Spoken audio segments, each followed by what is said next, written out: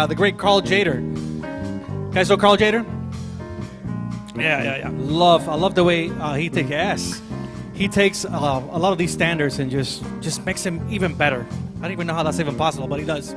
So um, I'm gonna attempt what he does, It's not as good.